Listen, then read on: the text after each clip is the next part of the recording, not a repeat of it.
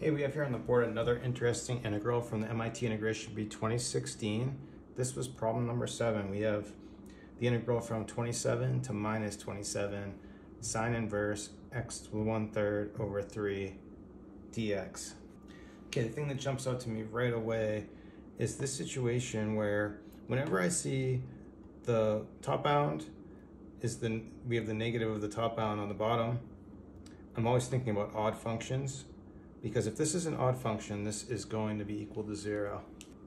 This property we have here on the board is, can be really helpful on a contest problem like this because not only does it give you the answer, but you get the answer in like two seconds. You don't have to spend time on this problem because you can look at it and you know right away it's going to be zero.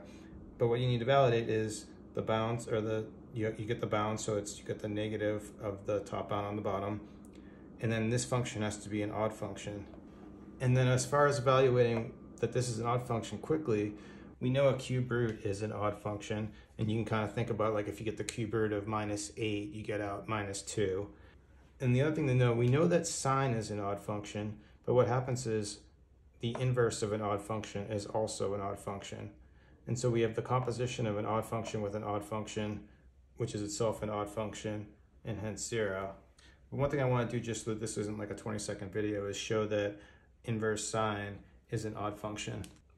So we start with our function, which is going to be arcsine or inverse sine, and we just want to evaluate it at minus x. So we want to look at inverse sine at minus x, and what I'm going to do is set this equal to y.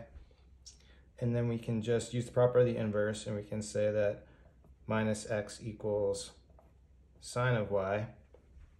But then we can multiply minus 1 on both sides, and we're going to have x equals minus sine y.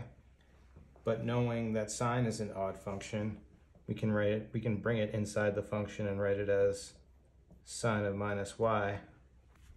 But then we can use the property of the inverse again and put it back like this and say sine inverse of x equals minus y.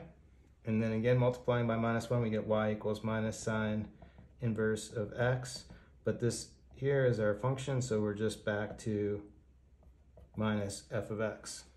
And so that tells us that this is odd, and as we said earlier, the inner function's odd, so the whole thing's odd, and this is going to be zero. That's MIT 2016 problem number seven. Thanks for watching. Please like and subscribe. Have a good day.